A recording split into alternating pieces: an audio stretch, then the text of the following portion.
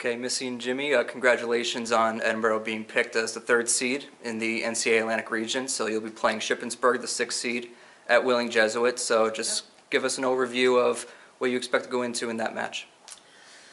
Well, um, I know first and foremost, we will focus on our team and what we need to do. Because I think pretty much if we can stay in system and we are having a good night, um, I think we're a pretty tough team. Um, that being said, Shippensburg is an experienced team. Um, they've got um, some pretty um, athletic hitters. Um, they have a, um, a senior setter who's running their offense who does a very nice job. So, um, you know, it's, um, I don't know. What do you think? like you said before, if we, um, if we focus on ourselves and we take care of the ball on our side of the court, we'll be a hard team to beat. And then looking at the region as a whole, obviously Wheeling Jesuit, the number one seed, and you're talking about one, two, three, four, five, five PSAC teams being in the region. So apart from Shippensburg, are you looking forward to playing anybody, maybe someone from the PSAC or your experience from this season? Like, what are you guys looking forward to in the region? You know, it's it's competitive from top to bottom. Uh, you know, Wheeling obviously is the is the one everybody's gunning for. Um, we'd love to have an opportunity to play them. Um, you know, Gannon's having a very good end of the year um, right now.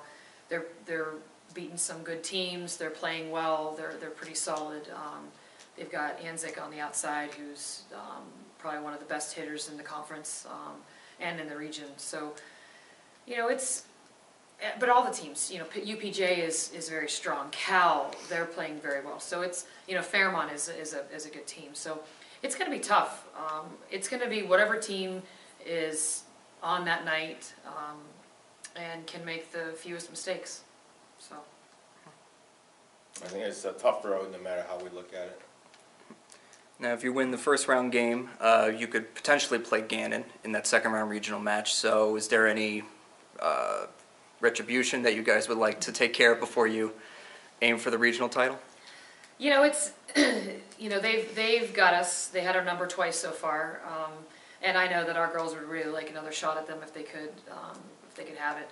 And, you know, it's, they're just, they're a good team. So, yeah, I'd love to be able to play them again. Um, but, you know, like, like you said, we got to get through Shippensburg first. And pretty much we need to take care of ourselves. If we really um, prepare ourselves and really stay disciplined and stay focused on what's going on on our side of the court, um, I think we, we can be pretty successful. So, what do you think? I agree. And from an individual standpoint, do you see anybody stepping up or people that you hope to see perform well?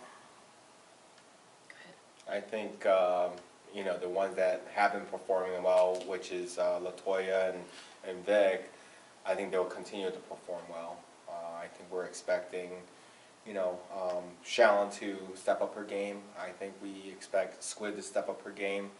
Um, and we're hoping uh, a couple other players will step up their game so that we can take care of the ball better on our side of the court. Yeah.